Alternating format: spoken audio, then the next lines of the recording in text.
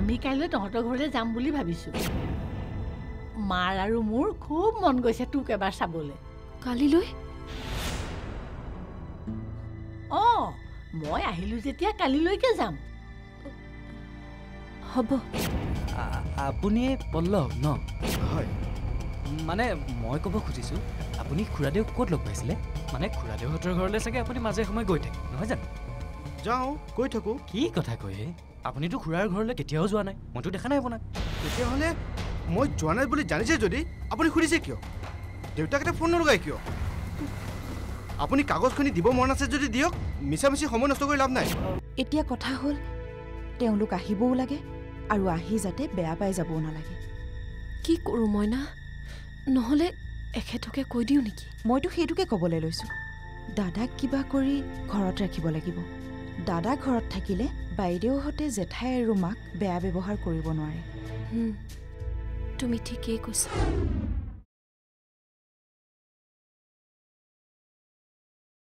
Hello অঁ কোৱা। ক'ত আছা তুমি? বৰ্তাহঁতৰ ঘৰত। আচ্ছা তোমাৰ ওচৰত কোনোবা আছে নেকি? নাই কিয়? নহয় মই যে কৈছিলোঁ পলাশেই পল্লৱ বুলি। অঁ অঁ আচ্ছা তুমি আকৌ পলাশক লগ পাইছিলা নেকি? কথাটো নহয় বুজিছা। মানে পল্লৱ বোলা ল'ৰাজন অলপ আগতে ফাইলটো লৈ গৈছে। অঁ হয় নেকি? চে মই আকৌ কথাটো শুনি ভালহে পাইছিলোঁ। ভাল পাইছিলোঁ? মানে? নহয় মানে সঁচাকৈয়ে যদি বৰ্তাৰ পলাশৰ লগত কণ্টেক্ট থাকিলেহেঁতেন। গুণৰখনো লাগিলেহেঁতেন। আমিতো আৰু এই ঘৰখনৰ ভালটোৱে বিচাৰোঁ দিয়াচোন। সিদ্ধাৰ্থ দা আমি এনেকৈ এইবিলাক কথা নাপাতো নেকি? লগ পাই পতাটোৱেই ভাল হ'ব। কাৰণ বৰ্তা বৰ্মাই শুনিলে কথাটো বেয়াও পাব পাৰে। বেলেগ একো নাই। মাত্ৰ কথাটো ভবাৰ দৰে নোহোৱাৰ কাৰণেহে মনটো বেয়া লাগিছে। ঠিক আছে বাৰু দিয়া ৰাখিছোঁ। অঁ ঠিক আছে। চে বৰমাক মিছাকৈ কথাবিলাক ক'লোঁ। এতিয়া ছাৰ। আহ।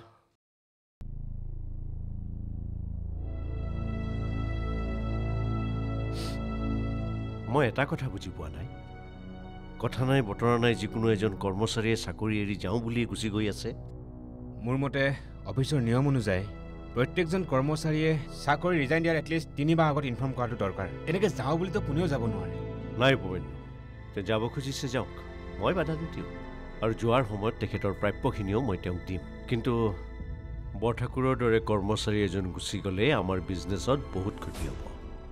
আৰু তেওঁৰ দৰে কৰ্মচাৰী এজন বিচাৰি পোৱাটো আমাৰ কাৰণে কঠিন হ'ব। আমাৰ ব্যৱসায় আৰম্ভ হোৱা দিনৰে পৰা আমাৰ ব্যৱসায়ৰ প্ৰতিটো সুখ দুখৰ সময়ত তেওঁ আমাৰ লগত আছিল। তেতিয়াহ'লে প্ৰব্লেমটো ক'ত? প্ৰব্লেম সেইটোৱে। তেওঁৰ পৰা কথাবোৰ উলিয়াবলৈ মই বহুত চেষ্টা কৰিলোঁ কিন্তু তেওঁ একো নকয়। ছাৰ তেওঁক কেতিয়াবা কিবা বেয়া ব্যৱহাৰ কৰা হৈছিল নেকি? নাইতো। কিন্তু আজি অলপ দিনৰ পৰা তেওঁ যে কিবা আপছেট হৈ আছে সেয়া ধৰিব পৰা গৈছিল। তেওঁ যে মূৰত কিবা টেনশ্যন লৈ আছে সেয়া খাটাং। ইমান এজন ছিনিয়ৰ এমপ্লয়ীক আমি বেয়া ব্যৱহাৰ কিয় কৰিম? হ'ব। তেতিয়াহ'লে মই তেখেতৰ লগত এবাৰ কথা পাতি চাম। মই ক'লে হয়তো তেওঁ বুজি পাব। হুম, মোৰ মতে বিশেষ চিন্তা কৰিব নালাগে। দৰমহা কেইটামান বঢ়াই দিলে আই থিংক সকলো প্ৰব্লেম ছল্ভ নাই উপমান্য মই তেখেতৰ লগত কথা পাতিছোঁ। প্ৰত্যক্ষ আৰু পৰোক্ষভাৱে সকলো কথা বুজাবলৈ চেষ্টা কৰিছোঁ। কিন্তু যাওঁ বুলি যেতিয়া সিদ্ধান্ত লৈছেই উপায় নাই। তেতিয়াহ'লে ঠিকে আছে। তেওঁ নিশ্চয় কিবা ভাল অফাৰ পাইছে। গতিকে ৰিকুৱেষ্ট কৰি একো লাভ নাই। আৰু ইয়াতকৈ বেছি ৰিকুৱেষ্ট কৰিলে আমাৰ কাৰণেহে বেয়া। তেওঁ নোহোৱাকৈ যে আমাৰ বিজনেছ নচলিব এইটো কথা ভবাটো আমাৰ কাৰণে ভুল হ'ব। মই কথাটো তেনেকৈ ভবা নাই। মই মাত্ৰ এটা কথাই ভাবিছোঁ। আমাৰ বিজনেছ ষ্টাৰ্ট হোৱা দিনৰ পৰাই আমাৰ লগত যিবিলাক মানুহে কাম কৰি আছিল সেই সকলোকে মই নিজৰ ফেমিলি মেম্বাৰ বুলি ভাবিছিলোঁ। গতিকে এজন ফেমিলি মেম্বাৰ আঁতৰি যাবলৈ ওলোৱাত বেয়া লগাটো স্বাভাৱিক।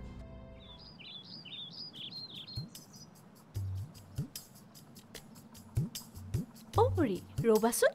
তোমাৰ লগত মোৰ এটা কথা আছে। কি ক'বলগীয়া আছে কওক মোৰ দেৰি হৈছে। এই ৰ'বাহে ক'তনো ঘোঁৰা ঘাঁহ কাটিবলৈ যোৱা। হেৰি নহয় তোমাৰ বয়স কিমান হৈছেনো তোমাৰতো উঠ টিপিলে গাখীৰ ওলাব এতিয়া। তোমাৰ জন্মৰ কথা মই জানো।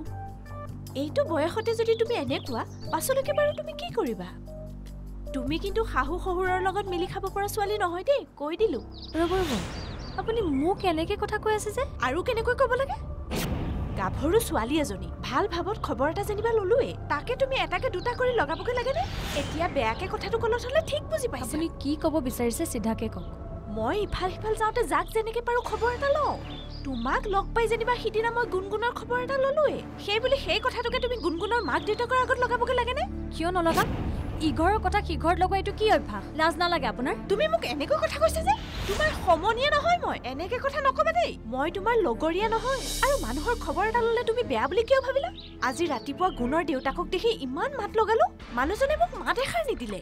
অ' সেইখন ঘৰৰ লগত মোক বেয়া কৰি নিজে ভাল হৈ থকাৰ মন। সেইখন মোৰ বৰদেউতাৰ আৰু সেইখন ঘৰৰ কথা বেয়াকে ক'লে মোৰ খং উঠিবই। হৈছে হৈছে। ভাল কথা এটা ক'লে এতিয়া মইহে বেয়া।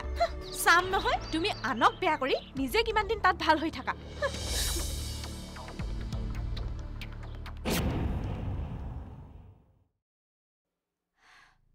কাইলৈ ৰুণৰ ঘৰলৈ যাম বুলি ফোনটো কৰা হ'লনে বাইদেউ? কৰিলোঁ ৰাতিপুৱাই যাম বুলি ক'লোঁ। মই এটা কথা ভাবিছোঁ। কি কথা?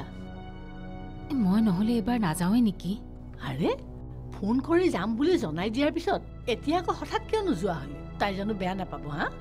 নহয় মানে এই ৰুণৰ কথাটো লৈ মই আগতে এবাৰ তেওঁলোকৰ ঘৰলৈ গৈছিলোঁ নহয়।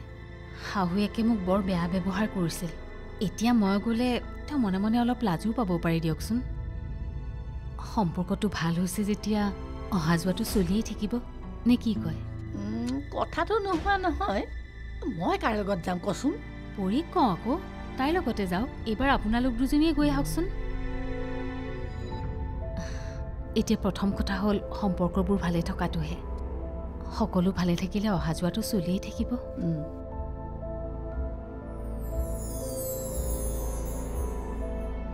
কেশৱ? অ শইকীয়া তোমাক লগ পাই মোৰ ভালেই হ'ল। কওকচোন। তোমাক কথা এটা সোধোৱে সোধ। এই প্ৰভাতটোৰ হৈছে কি? কি হৈছে? আগতে আমাৰ সামাজিক কামবিলাকত সিয়ে আগভাগ লয়। এতিয়া ঘৰত গৈ মাতি থৈ আহিলেও নহা হ'ল। এ টেনশ্যন বুজিছে এই টেনশ্যনৰ কাৰণেই এইবোৰ হৈছে। টেনশ্যন কিহৰ টেনশ্যন হেৰি তেওঁলোকৰ ঘৰৰ ভিতৰৰ কথাবোৰ আপোনাক আৰু মোক কিয় ক'ব কওকচোন? কথাবোৰ ভালকৈ বুজি পোৱা নাই নহয়। বুজাই কোৱাচোন কি হৈছে? শুনকচোন তেওঁলোকৰ এজনী ছোৱালী পলাই যোৱা নাই জানো? সেই দুখটো পাৰ নাযাওঁতে আন এজনী ছোৱালী আহি ঘৰ সোমাই মানে? মানে আৰু কি? ময়ো শুনিছোহে বুজিছে অঁ। এজনী ঘৰত কেইদিনমানৰ পৰা আছেহি নহয় আৰু দুদিনমানৰ আগতহে গিৰিয়েকে ঘৰলৈ নিছেহি। অঁ। ময়ো এই বিষয়ে শুনা কথাহে। এই শহুৰ শাহুৱেকৰ লগত বোলে তাই মনটো মিল নাখায়। তুমিনো এইবোৰ কথা কেনেকৈ গম পালা? কিয়? কণমাই নাই নেকি? কণমাই মোক নিজে কৈছে। কণমাই কৈছে? অঁ। অঁ সেইকাৰণেহে মানুহজনে আজিকালি ঘৰৰ পৰা বাহিৰলৈ নোলোৱা হ'ল। তাকে। ঠিক আছে তুমি যোৱা। ঠিক আছে। অঁ। তেওঁ এবাৰ আমাক জনাব লাগিছিল। হয়। কিন্তু বৰঠাকুৰে যদি আগতে কথাটো ভাবিছিলে এবাৰতো আমাক আগতীয়াকৈ জনাই থ'ব পাৰিলেহেঁতেন।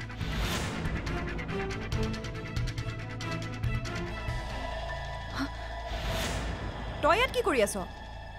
মানে? তাৰ মানে মনে মনে আমি কি কথা পাতিছো সেয়া শুনি আছিলি। তোক চাগে সেইজনীয়ে চোৰাংচোৱা পাতিছে। নহয় মই এইফালে যাবলৈ লওঁতেই চোলাটো ইয়াত লাগি ধৰিলে। তোৰ ইয়ালৈ অহাৰ কাৰণ আমি জানিবলৈ বাকী নাই।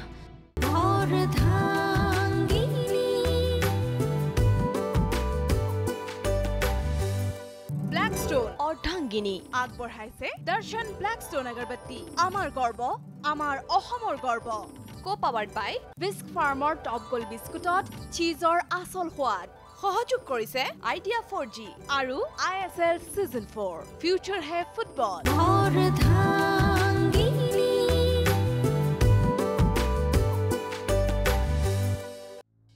আচ্ছা। হয় কি আপুনি মোক এটা কথা বুজাই দিয়ক? হঠাৎ অফিচৰ পৰা বৰঠাকুৰে ৰিজাইন দিয়াৰ কাৰণটো কি হ'ব পাৰে? ইয়াত নিশ্চয় কোনোবা তৃতীয় পক্ষ জড়িত হৈ আছে। তেওঁলোকে হয়তো বৰঠাকুৰক কিবা নতুন চাকৰি দিয়াৰ প্ৰলোভন দিছে। এতিয়া তেওঁ আমাক জনাব বিচৰা নাই কিন্তু এদিন নহয় এদিন আমি নিশ্চয় গম পাম। আৰে কোনোবা এমপ্লয়ীয়ে অফিচৰ পৰা হঠাৎ ৰিজাইন দিয়াৰ কাৰণ কি থাকিব পাৰে? অ'কে ঠিক আছে বাৰু। আচ্ছা। ঠিক আছে শইকীয়া। কোনোবা এমপ্লয়ী যদি অফিচৰ পৰা যাবলৈ বিচাৰিছে তেওঁক যাবলৈ দিয়ক। এদিন নিজেই পস্তাব। আমাৰ এইটো কোম্পানী যদিও আমি সকলোকে ফেমিলি মেম্বাৰৰ নিচিনাকৈ ট্ৰিট কৰিছিলোঁ বিপদৰ সময়ত ইজনে আনজনক সহায় কৰিছিলোঁ। আমিতো তেওঁক যাবলৈ দিয়া নাই তেওঁ নিজ ইচ্ছাৰে গৈছে। আৰু বৰঠাকুৰ ওলাই যাবলৈ ওলোৱা কথাটোত দেউতাই বৰ বেয়া পাইছে। এটলিষ্ট তেওঁ এবাৰ আমাক জনাব লাগিছিল। হয় কিন্তু বৰঠাকুৰে যদি আগতে কথাটো ভাবিছিলে এবাৰতো আমাক আগতীয়াকৈ জনাই থ'ব পাৰিলেহেঁতেন।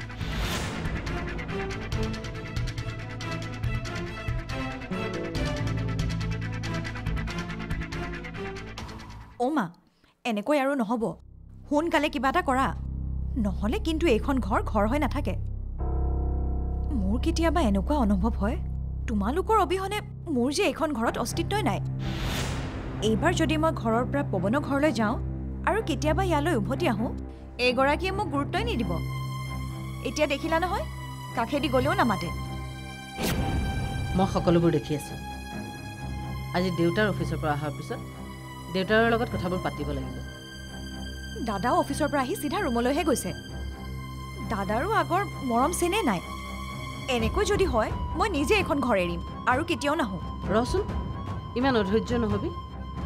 মই থকালৈকে একো চিন্তা নকৰিবি। মই সকলোৰে গতি লগাম। মা মোৰ এতিয়া ভয়হে হৈছে। এফালে পৱনৰ লগত মই থাকিব নোৱাৰোঁ। আৰু ইয়াত এইবোৰ অশান্তি। এটা কথা শুন। কি?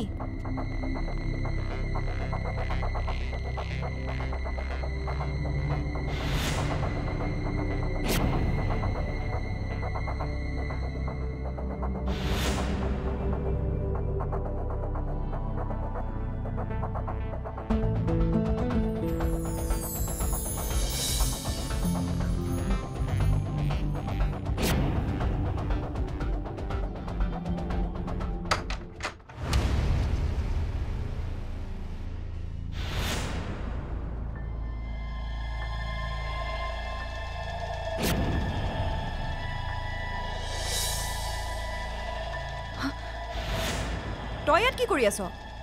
অ' তাৰমানে মনে মনে আমি কি কথা পাতিছোঁ সেয়া শুনি আছিলি। তোক চাগে সেইজনীয়ে চোৰাংচোৱা পাতিছে। নহয় মই এইফালে যাবলৈ লওঁতেই চোলাটো ইয়াত লাগি ধৰিলে। তোৰ ইয়ালৈ অহাৰ কাৰণ আমি জানিবলৈ বাকী নাই। আমি এনেকৈ কথা পাতি থাকিলে নেক্সট টাইম ভিতৰলৈ আহিলে দুৱাৰ নক কৰি আহিবি। সেইখিনি শিষ্টাচাৰ নাজানো নেকি? এতিয়া ভেবা লাগি কি চাই আছ? যা।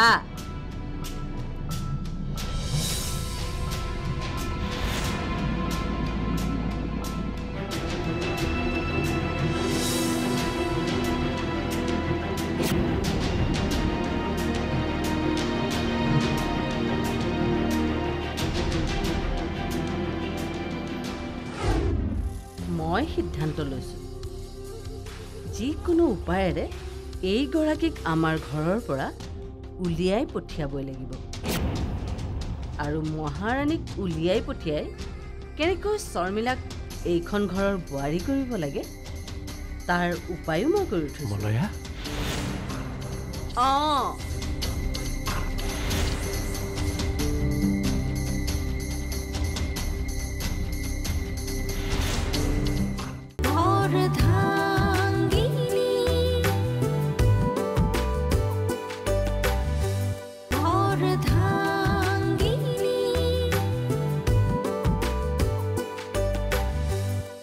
আপুনি অফিচত এনেকুৱা কিছুমান মানুহ লক্ষ্য কৰিছে নেকি যিয়ে বৰঠাকুৰক এনেকুৱা সিদ্ধান্ত ল'বলৈ বাধ্য কৰিছে? আচ্ছা। ঠিক আছে। হয়গে এনেকুৱা অফাৰ হয়তো আপোনালৈও কাইলৈ আহিব পাৰে। আপুনি মোক কাইণ্ডলি জনাব। দেউতা আৰু মোৰ কিছুমান মানুহৰ ওপৰত সন্দেহ নোহোৱা নহয়। সময়ত মই মুখ খুলিম। আৰু এনেকুৱা মানুহবোৰ অফিচৰ পৰা আঁতৰ কৰালেহে অফিচটো ঠিক হ'ব। আপোনালৈ মোৰ এটাই অনুৰোধ। আপুনি অফিচত থকা সময়খিনি এইবোৰ কথা লক্ষ্য ৰাখিব আৰু কিবা ইনফৰ্মেশ্যন পালে মোক ইমিডিয়েট জনাব। হয়গে আপুনি মোৰ বিশ্বাসী মানুহ? সেই গতিকেহে আপোনাক এইখিনি কথা কৈছোঁ।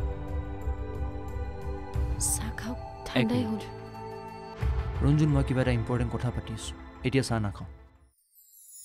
হয় কিয়া? শুনক। হয় কিয়া? আপুনি কথাবোৰ ভালকৈ মন দি শুনক।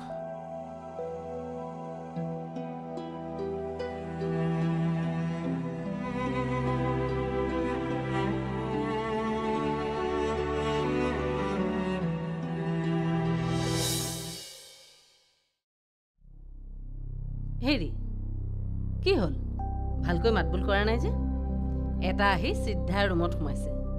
আগতে অফিচৰ পৰা আহি মা বুলি মাতষাৰ দিছিল। আজিকালিতো সেই সাৰো পাবলৈ নাই। ৰ'বা কি লাগবান নোহোৱা কথাবোৰ কৈ আছা?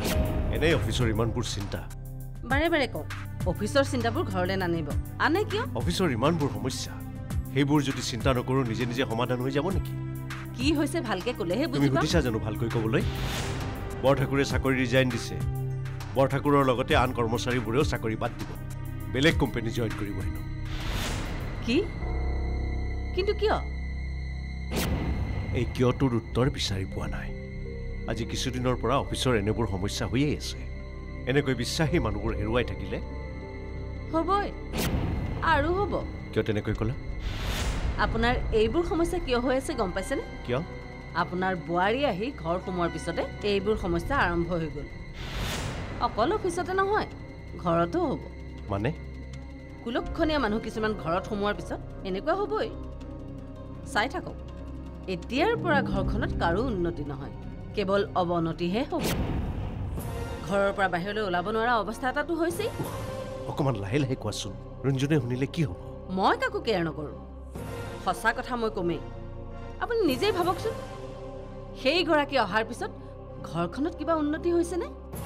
ক'ব পাৰিব? তোমালোকৰ মানসিকতাবোৰ সঁচাকৈ খুব বেয়া। মই আছো কি চিন্তাত? আৰু তুমি? সঁচা কথা কৈছোঁ যে তিতাকেহা লাগিবই। এইবাৰ তিতাকেহা লাগিলেও উপায় নাই।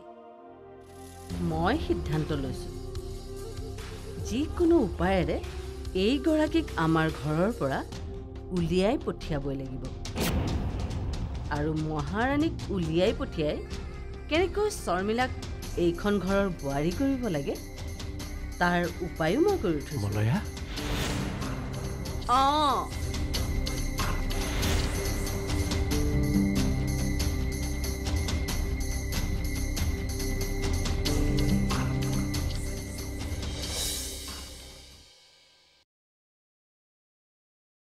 অশ্ৰু কাপোৰযোৰ ভাল লাগিছেনে? ভাল লাগিছে। তই যোৱা হ'লে ভাল লাগিলেহেঁতেন ন? মই আকৌ পৰীক ফোন কৰিলোৱে নহয়। তাই নগ'লেও বেয়া লাগিবতো তথাপিও দেচোন তই গ'লে ভাল লাগিলেহেঁতেন। এখেতৰ আকৌ ভাত পানীৰ কথা আছে নহয়। মই ঘৰত থাকিবই লাগে। এই পৰি দেখোন এতিয়ালৈকে নাহিলে। তাকেতো কিনো কৰিছে তাই এতিয়ালৈকে? তই আহিলি? তোৰ নাম লওঁতেই তই ওলালিহি। তোৰ আয়ুস বহুত দিন বাঢ়িব দে। হেৰি নহয়? তই একেবাৰে ওলাই আহিলি নে আকৌ কাপোৰ সলাবলৈ নাই? একেবাৰে ওলাই আহিছো। ওলাই আহিছ। অ। তেনেহ'লে অটো এখন মাত আমি যাওঁ। অ, আছে, সোনকালে যাওঁ। আছে। তেহে সিহঁতৰ ঘৰত লগ পামগে চবকে। অ, দেউতাক আৰু মৃতিককো লগ পাবি। যা। ঠিক আছে দিয়ক। যা। আহিছো। যাওঁ বাইদেউ। গুড মৰ্ণিং দেউতা। Good morning. মৃতিক মই তোৰ বাবেই ৰৈ আছোঁ। আৰু তোৰ লগত কথা কেইটামান আলোচনা কৰিবলগীয়া আছে। আচোন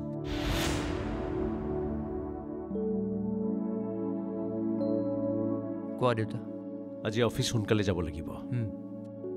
অফিচৰ সমস্যাবোৰ সৰু হৈ থকা নাই। সমস্যাবোৰ ডাঙৰেই। ৰাতিপুৱা আকৌ এটা ফোন আহিছিল নীলিম দত্তৰ। তেওঁ চাকৰিৰ পৰা অব্যাহতি বিচাৰিছে। কি? আচলতে কি হৈছে ময়ো ধৰিব পৰা নাই। হঠাৎ কিয় প্ৰতিজন কৰ্মচাৰীয়ে কাম এৰিব বিচাৰিছে? সেয়ে আজি সোনকালে অফিচলৈ যাব লাগিব। তেওঁলোকৰ লগত বহি কথাটো আলোচনা কৰিব লাগিব। হয়তো তেওঁলোকৰো কিবা প্ৰব্লেম থাকিব পাৰে। চাগে আমি তেওঁলোকৰ প্ৰব্লেমবোৰ ভালদৰে অনুধাৱন কৰিব পৰা নাই। তেওঁলোকৰ লগত আলোচনাত বহিলেহে কথাবোৰ ভালকৈ জানিব পাৰিম। গতিকে দেৰি কৰিব নালাগে। তই সোনকালে ৰেডি হ। মই আগতীয়াকৈ ওলাই যাম। ঠিক আছে দেউতা। যা।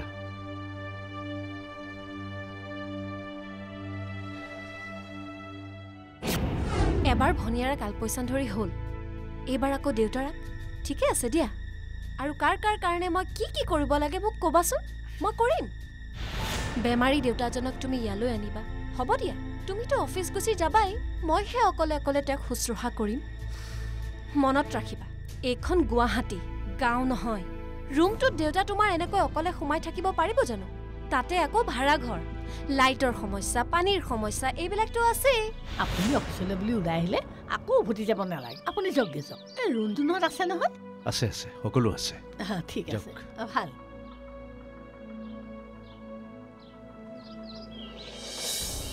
আলহী আহিল যেতিয়া মৃত্যু কেতিয়া ক'ত আহিব পাৰিব?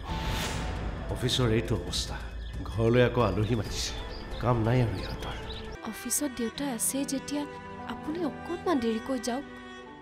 ৰ'বাচোন মই ভাবি চাওঁ কি কৰিব পৰা যায়। দেউতাই আজি সোনকালে অফিচলৈ যাবলৈও কৈছে। এইফালে অফিচ নগ'লেও নহয় আৰু ঘৰতো।